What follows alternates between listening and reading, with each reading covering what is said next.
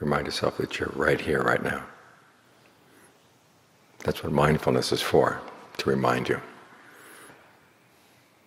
They say that mindfulness is, is a refuge, it's a protection, because it helps you remember the good lessons you've learned from the past. And one of the things you remember, it's good for you to get in the mind in the present moment, to be alert to the present moment, and then to recognize whatever is going to come up that's going to pull you away. So we're not just here in the present moment, we're also here mindfully. Because we know there are good things to do in the present moment. We give the mind a good place to settle down, we can give it a way to breathe that feels good. These things are good not only because they're good in the present moment, but because they, they're good into the future as well. They train you in good habits. You could say, well, if I just want the mind to rest, all I have to do is sleep. Well, the mind rests when you sleep, but it doesn't develop good qualities at the same time. But if you rest by being alert, mindful, and ardent in what you're doing right now, then the mind gains strength right now, and it also develops good habits. Otherwise, it just wanders around, squanders its energies on useless thinking.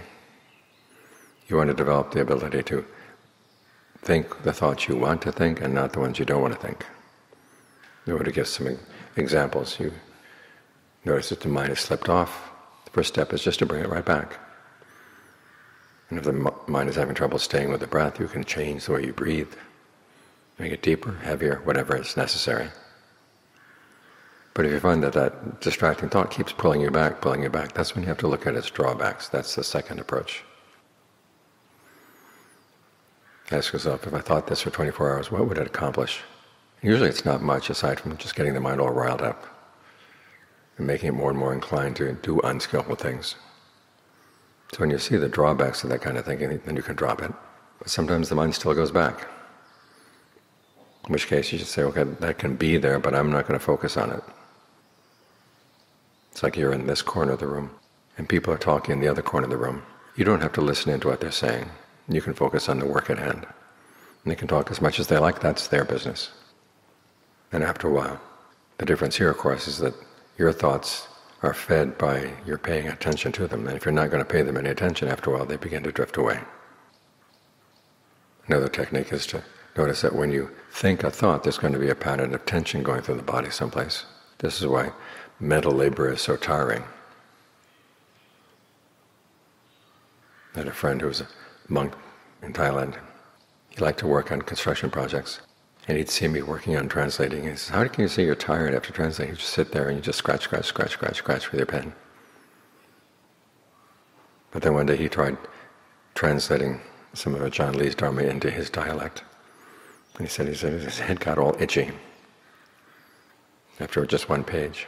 So yeah, there's patterns of tension going through the head, going through different parts of the body when you're thinking. And so if you notice that, you can just relax those patterns of tension. And thought won't have a place to stay.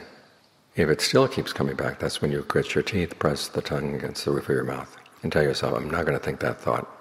And then just repeat a meditation word really fast, like machine gun fire. Don't give any openings for that thought to come through. And then after a while, you find that it's gone away. So these are five ways you can deal with distracting thoughts as they come up. And the Buddha said, when you master these techniques, then you master the, the ways of the mind. In other words, when you want to think about something, you'll think about it. When you don't want to think about it, the mind will rest. That's when you're in charge of your thoughts. Otherwise, your thoughts are in charge of you. And that's not right. After all, they should be your tools. You don't want to be their tool. So remember, you can gain control over the mind. And there's a sense of well-being that comes when you've got that control in hand.